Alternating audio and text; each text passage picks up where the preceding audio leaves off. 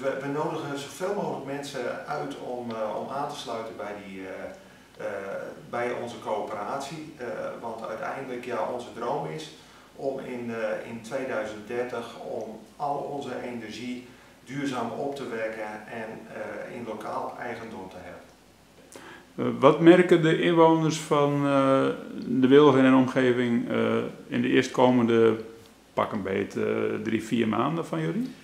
Nou, als het goed is, want we hebben afgelopen weekend uh, onze penningmeester gevonden, mm -hmm. de laatste missende schakel, zodat we de coöperatie kunnen oprichten. Mm -hmm.